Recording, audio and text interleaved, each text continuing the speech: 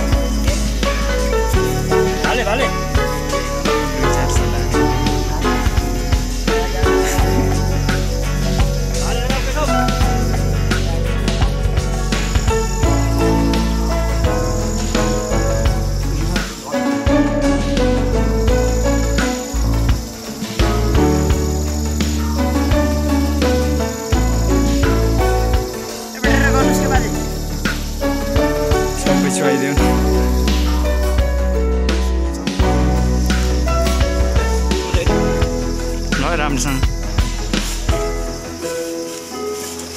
ल ठिक छ।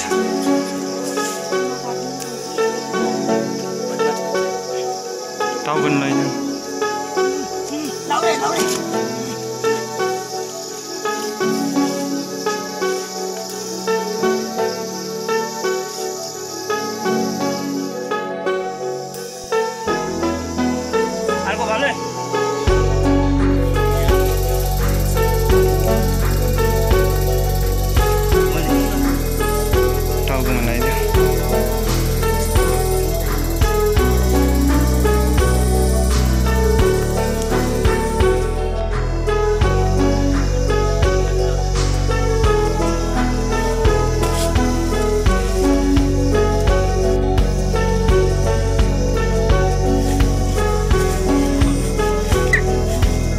बाय ना